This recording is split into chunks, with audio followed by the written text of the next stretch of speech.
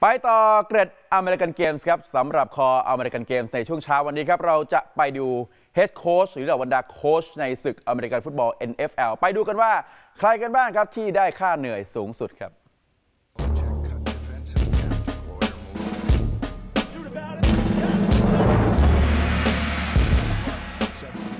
อันดับ 3 โค้ช NFL ที่ได้ค่าเหนื่อยแพงสุดคือ Bill Belichick ของทีม New England Patriots ที่ได้ค่าเหนื่อยเฉลี่ย 7 ล้าน5แสนดอลลาร์สหรัฐ หรือราวๆ 262 ล้านบาทต่อปี Belichick คุมทีม Patriots ตั้งแต่ปี 2000 และมีผลงานนำทีมคว้าแชมป์ซูเปอร์โบว์4สมัย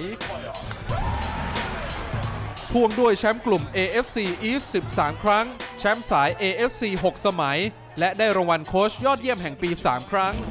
Belichick เป็นหนึ่งในสุดยอดโค้ชตลอดกาลของศึก NFL และเขายังมีโอกาสเป็นโค้ชคนแรกในประวัติศาสตร์ ที่จะได้ค่าเหนื่อยแตะ 10 ล้านดอลลาร์ต่อปีในอนาคต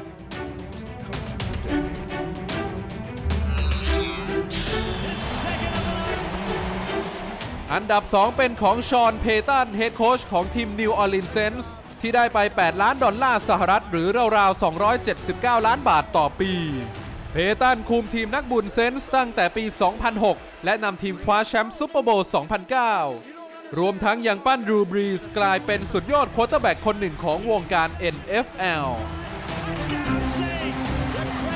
Payton อดีตโค้ชเกมบุกของนิวยอร์ก Giants และ Dallas Cowboys ได้นำ Saints คว้าแชมป์กลุ่ม NFC South 3 สมัย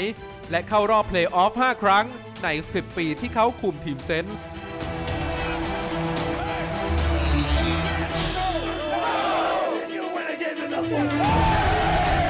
อันดับหนึ่งเป็นพีทแคโรเฮดโค้ชของ Seattle Seahawks ที่เพิ่งขยับแซงเพตันขึ้นมาอันดับหนึ่งหลังจากต่อสัญญาฉบับใหม่กับ Seahawks อีก 5 ปี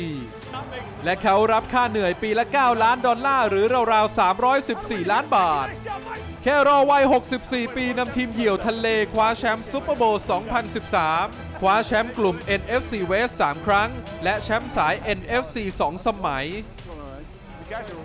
แคร์โรลล์ยังมีโอกาสเพิ่มจำนวนแหวนซูเปอร์โบวล์วงที่ 2 ของเขาในปีนี้อีกด้วย